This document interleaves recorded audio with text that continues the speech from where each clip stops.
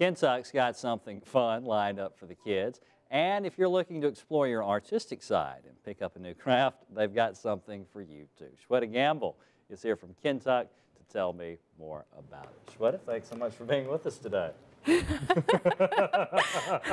know, I hate it when I don't turn off my phone. That's okay. That um, is fine. I'm sure yeah. it was an important call. Do you, do you need yeah. to, to talk to I don't, yeah, No, I don't. I don't.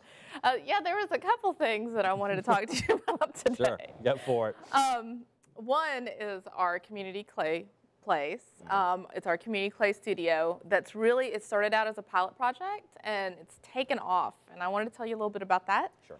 And then we're also um, launching our Kentuck for Kids mm. international series uh, on January 19th. All right, great. So, now you sent me some pictures, and I am guessing this is uh, uh, of the clay pieces. And uh, here we go. Just tell us what's going on. Okay, this is one of our clay co-op members, Hayes, mm and she, uh, most of the members of our clay co-op do pottery, but she does sculpture, mm -hmm. and she actually um, make she digs clay from the earth and instead of buying it and, oh, and wow. does these sculptures. Um, but she works, this is just her in the clay co-op. Um, it's a candid shot of her, but they have a lot of fun in there. And the way the clay co-op works is people pay a fee mm.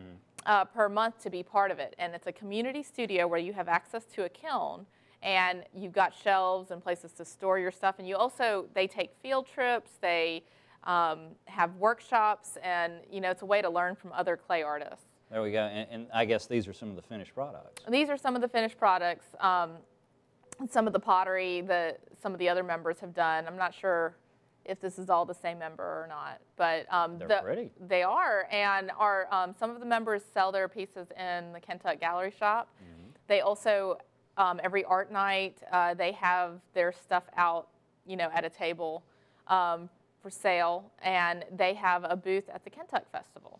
Now, one thing I remember, you know, being a child of the 80s, uh, that this was popular for a while with, uh, as a craft for, for stay-at-home moms. And, yeah. and you would a lot of times see uh, what we just saw in that previous picture, which looks like an ashtray, but you weren't really sure what it was supposed to be. I know. Well, that one's got glass in it. And, um, you know, we had the picture that had just popped up is mm. our um, Bob, who is not a stay-at-home mom, and he um, was thrown on the wheel. We've got wheels right. in there, so you know if anybody's ever interested in joining the Clay Co-op or mm. checking it out, Saturday mornings um, around 10, one of our co-op members, Fred, um, will give you a demonstration, show you around.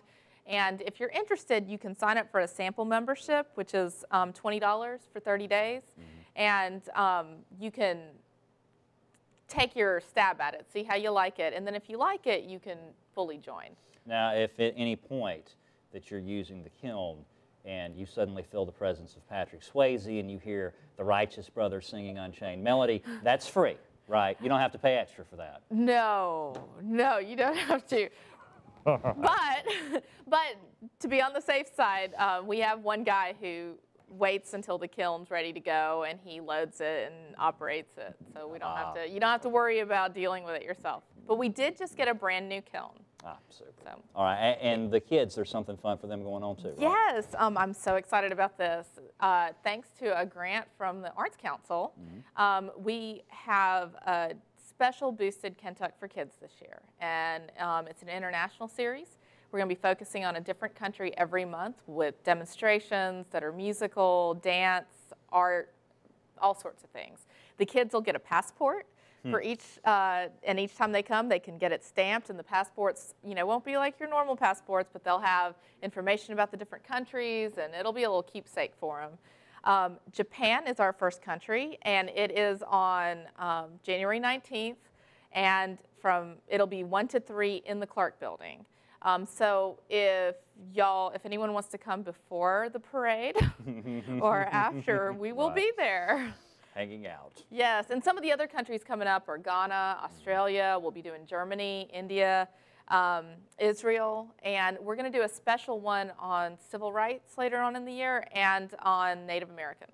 All right, super. Shweta, thank you so much for being with us today. Sure. You can find out more about what's going on down at Kentuck by calling 205-758-1257 or online at Org. Now you can check and see who was calling you. Well, fun weekend for movie fans.